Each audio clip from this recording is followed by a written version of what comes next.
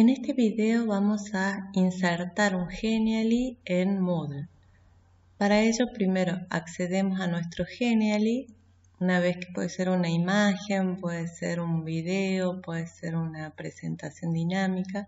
Una vez que la tenemos terminada vamos a compartir, luego hacemos clic en insertar y podemos elegir entre estas dos opciones, un iframe o un script.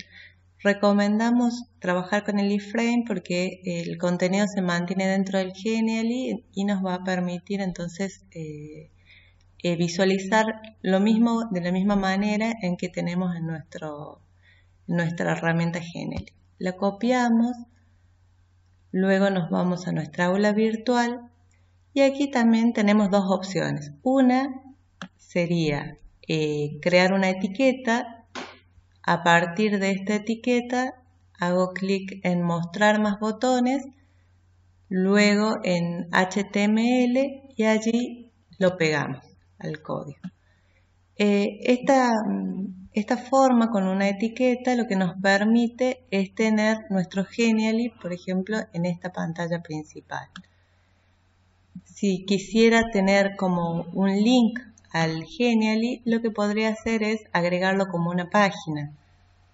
Entonces le vamos a dar un nombre, por ejemplo, condiciones de la materia. Eh, podemos ponerle una descripción o no. Y a donde vamos a pegar nuestro código es en el contenido de la página. Allí vamos a hacer clic en mostrar más botones, luego en HTML y le pegamos el código.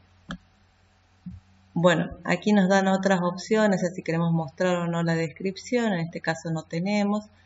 Eh, bueno, si va a estar visible, si hay alguna restricción de acceso, por ejemplo, yo quiero que esto se vea en una fecha determinada o bien luego de haber aprobado tal o tal tema o para un grupo determinado.